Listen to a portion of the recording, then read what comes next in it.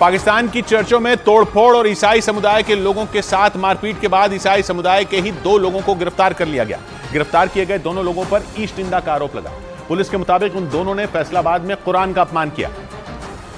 जिसके बाद वहाँ मौजूद मुसलमानों की भीड़ हिंसक हो गई और उसने कई चर्चों को आग के हवाले कर दिया। फैसलाबाद पुलिस के मुताबिक ये बवाल तब शुरू हुआ जब ईसाई समुदाय के उन लोगों पर कुरान के अपमान का आरोप लगा। आरोप है कि वहाँ चर्च और ईसाई समुदाय के लोगों के घरों पर हमले का इशारा फैसलाबाद की एक मस्जिद से किया गया। और इसके बाद भीड़ बेकाबू हो गई। हालाँकि फैसलाबाद पुलिस ने चर्चों पर हमले करने वाले लोगों की बजाय ईसाई समुदाय के उन दो लोगों को ही गिरफ़्तार कर जेल में डाल दिया, जिन पर कुरान के अपमान का आरोप था। आरोप है कि इसके लिए भी उसी मस्जिद से पुलिस पर दबाव बनाया गया, जिसके बाद पुलिस ने उनकी गिरफ्तारी की। इस बीच पाकिस्तान के सिंध प्रांत के एक पीर को अपनी हवेली में काम करने वाली 10 साल की एक लड़की की हत्या के आरोप में गिरफ़्तार कर लिया गया। आरोप है कि उस पीर ने अपनी हवेली में काम करने वाली उस बच्ची का पहले रेप किया और फिर उसे इतनी बुरी तरह पीटा कि उसकी जान चली गई।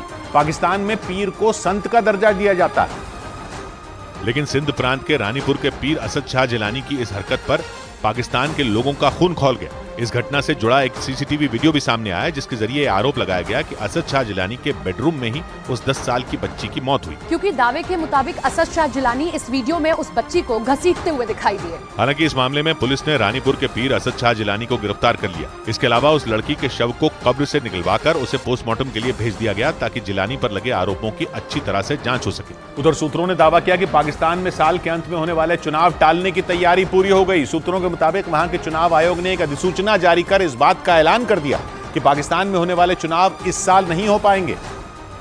और इसके पीछे की वजह वहाँ होने वाले परिसीमन को बताया गया। पाकिस्तान के चुनाव आयोग के मुताबिक वहाँ चुनाव से पहले डिजिटल जनगणना और संसदीय इलाकों का परिसीमन होगा और इसके बाद ही चुनाव कराए जा सकेंगे, क्योंकि उन्हें इस बात का डर सताने लगा कि इमरान खान सत्ता में वापसी कर सकते हैं। आशंका जताई गई कि इसी वजह से शहबाज सरकार की गुजारिश पर वहाँ के चुनाव आयोग ने चुनाव टालने का फैसला लिया, ताकि अगले कुछ महीनों में इमरान खान पर लगाम लगाने की कोई तरकीब निकाली जा सके। उधर हैदराबाद में अपने घर में नजरबंद वाईएसआर तेलंगाना पार्टी के अध्यक्ष वाईएस शर्मिला ने विरोध जताने के लिए पुलिस वालों की आरती उतारी। उन्हें पुलिस ने उस वक्त रोका जब वो अपने चुनावी क्षेत्र के दौरे पर जा रही थी। लेकिन जैसे ही वो घर से निकली, पुलिस ने उनका रास्ता रोक दिया, जिसके बाद वाईएसआर तेलंगाना पार्टी के अध्यक्ष वाईएस शर्मिला ने अपना विरोध जताने के लिए पुलिस वालों की आरती उतार दी। उन्होंने पुलिस वालों पर तंज भी कसा, क्योंकि वहाँ तैनात पुलिस कर्मियों ने उन्हें उनके चुनावी क्षेत्र गजवेल जाने से रोक दिया। इससे पहले अपना विरोध जताने के लिए उन्होंने अपने घर के सामने ही धरना भी दिया और तेलंगाना के मुख्यमंत्री के चंद्रशेखर राव पर जबानी हमला किया। उधर पश्चिमी मीडिया के मुताबिक फारस की खाड़ी में अमेरिकी फौज के बढ़ते दखल से ईरान भड़क गया। कुछ दिनों पहले ही अमेरिका ने फारस की खाड़ी में अपने सैनिकों की मौजूदगी को बढ़ाया था। इतना ही नहीं, ऐसी खबरें भी सामने आई सामने आई, जिनमें दावा किया गया कि अमेरिका ने अपने कुछ विध्वंसक जंगी जहाजों को भी वहाँ तैनात कर दिया।